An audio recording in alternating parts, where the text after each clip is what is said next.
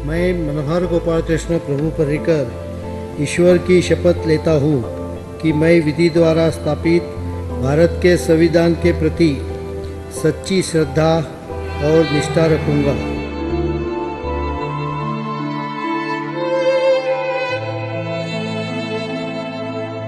രാഷ്ട്രീയക്കാരുടെ ബാഹ്യപരിവേഷങ്ങളില്ലാതെ ലളിത ജീവിതവും ഉന്നതമായ ചിന്തകളും കൊണ്ട് ജനഹൃദയങ്ങൾ സ്വന്തമാക്കിയ നേതാവായിരുന്നു മുൻ കേന്ദ്ര പ്രതിരോധ മന്ത്രിയും ഗോവയുടെ മുൻ മുഖ്യമന്ത്രിയുമായിരുന്ന മനോഹർ പരീക്കർ.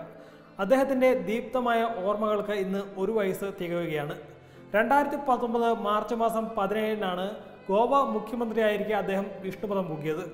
രണ്ടായിരത്തി പത്തൊമ്പത് വർഷത്തിന്റെ ഒരു തീരാനഷ്ടമായിരുന്നു മനോഹർ പരീക്കർ എന്ന ഗോവയിലെ ബി ജെ പിയുടെ ശക്തി സ്രോതസ്സിന്റെ അകാല നിര്യാണം എന്ന് പറയാം. മൂന്ന് തവണ ഗോവയുടെ മുഖ്യമന്ത്രിയായിരുന്ന പരീക്കർ രണ്ടായിരത്തി പതിനാല് മുതൽ രണ്ടായിരത്തി പതിനേഴ് വരെ രാജ്യത്തിന്റെ പ്രതിരോധ മന്ത്രിയായിരുന്നു.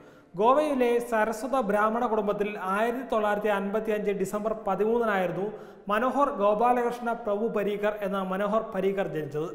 പഠിക്കാൻ മിടുക്കനായിരുന്ന മനോഹർ പരീക്കർ വിദ്യാഭ്യാസ കാലം മുതൽക്കേ ആർ എസ് എസിലും മറ്റും സജീവമായിരുന്നു. പിന്നീട് മുംബൈ ഐ ഐ ടിയിൽ നിന്ന് ബിരുദം നേടി.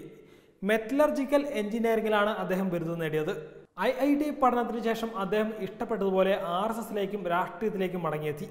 ബി ജെ പിയിൽ സജീവമായ പരീക്കർ ആയിരത്തി തൊള്ളായിരത്തി തൊണ്ണൂറ്റിനാലിൽ ഗോവയിൽ എം എൽ എ ആയി. രാജ്യത്ത് എം എൽ എ ആകുന്ന ആദ്യ ഐ ഐ ടി പൂർവ വിദ്യാർത്ഥി കൂടിയായി അങ്ങനെ അദ്ദേഹം മാറി. രാഷ്ട്രീയ നീക്കങ്ങൾക്കൊടുവിൽ രണ്ടായിരം ഒക്ടോബറിൽ ബി ജെ പി ആദ്യമായി ഗോവയിൽ ഭരണത്തിലെത്തിയപ്പോൾ പരീക്കർ മുഖ്യമന്ത്രിയായി. രണ്ടായിരത്തി രണ്ട് ഫെബ്രുവരിയിൽ നിയമസഭ പിരിച്ചുവിട്ടെങ്കിലും തിരഞ്ഞെടുപ്പിനെ തുടർന്ന് കൂട്ടുകക്ഷി മന്ത്രിസഭയെ നയിച്ച് ജൂണിൽ വീണ്ടും അദ്ദേഹം മുഖ്യമന്ത്രിയായി. രണ്ടായിരത്തി അഞ്ചിൽ ഭരണം നഷ്ടപ്പെട്ടു. എന്നാൽ രണ്ടായിരത്തി പന്ത്രണ്ടിൽ മൂന്നാം വട്ടം മുഖ്യമന്ത്രി സ്ഥാനത്ത് മടങ്ങിയെത്തി. രണ്ടായിരത്തി പതിനാലിൽ ലോക്സഭാ തെരഞ്ഞെടുപ്പിൽ വിജയിച്ച് കേന്ദ്ര പ്രതിരോധ മന്ത്രിയായി. രണ്ടായിരത്തി പതിനേഴ് മാർച്ച് വരെ ആ സ്ഥാനത്ത് തുടർന്നു. രണ്ടായിരത്തി പതിനേഴിൽ മുഖ്യമന്ത്രി സ്ഥാനം ഏറ്റെടുക്കാനായി രാജിവെച്ച് സ്വന്തം മണ്ഡലമായ പനാജിയിൽ മത്സരിച്ച് വിജയിച്ച് എം എൽ എ ആയി അങ്ങനെ നാലാം തവണയും അദ്ദേഹം മുഖ്യമന്ത്രിയായി. ഗുരുതരമായ അസുഖം ബാധിച്ചപ്പോഴും പാർട്ടി വേദികളിലും പൊതുവേദികളിലും സജീവ സാന്നിധ്യമായിരുന്നു മനോഹർ പരീക്കർ. എതിരാളികൾ പോലും അദ്ദേഹത്തെ ഏറെ ബഹുമാനിച്ചിരുന്നു എന്നതാണ് വാസ്തവം. ക്രിസ്ത്യൻ മതവിഭാഗത്തിന് സ്വാധീനമുള്ള ഗോവയിൽ ബി ജെ പിക്ക് ഭരണം നേടിക്കൊടുക്കാൻ കഴിഞ്ഞത് മനോഹർ പരീക്കറിന്റെ ഈ വ്യക്തിപ്രഭാവമായിരുന്നു.